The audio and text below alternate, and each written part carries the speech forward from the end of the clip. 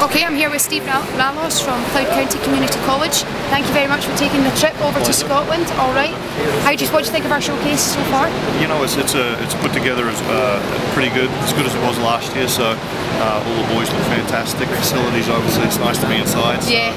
Um, so so far so good. Still freezing though, isn't it? It is very cold. So I understand you took a couple of uh, First Point USA clients last year. Uh, yeah, I, uh, I actually had four on the books last year and, and had some returning players over from First Point, so did extremely well for me. Uh, you know, won a national championship this year, so the boys the boys came in and contributed really well. So, Perfect, perfect. So highlight of your program this year was obviously winning that national championship. Yeah, yeah. Did you not get a championship ring? Did they not do you that know, anymore? you know, we've designed them. Uh, they're on order, so we should. Oh, perfect. The boys will probably be getting presented them uh, uh, towards the end of uh, end of January, first part of February. So. Okay, cool, excellent. So tell us a little bit about Cloud County. Whereabouts are you situated? What's it like Um, as a school?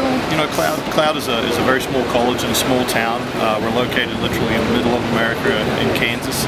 Um, It's, it's a it's a fantastic opportunity for uh, for a boy to come over. Um, you know, get get his grades up, get get some schooling in, and, play some quality football, and, and then maybe move him on to the likes of uh, you know Cincinnati or uh, Ohio State, North Carolina, the likes of those. So is that kind of the natural progression then? You know, you, you do your time with Cloud County and then you look to kind of progress the boys on? Yeah, definitely.